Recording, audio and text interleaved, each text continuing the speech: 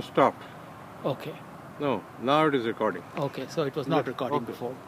Today is August 30th, 2012. Here we are at the Jatropha farm. This is a three-year-old tree and this has 100 branches.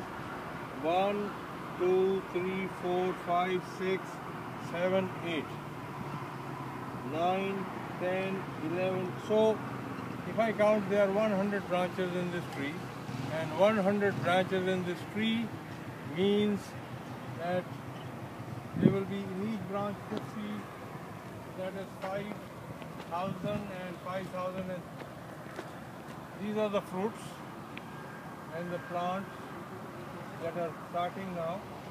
So this will be all ready in, in the next another two, three months. This will give the fruit and the trees and this is beautiful.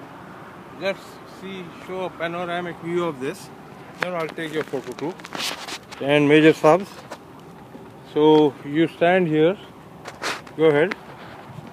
And this is uh, a Jatropha farm in, Ka- in Pakistan. And this Jatropha farm, you can see these trees. And this will give, each tree will give about 4 liters of oil. Thank you. Bye.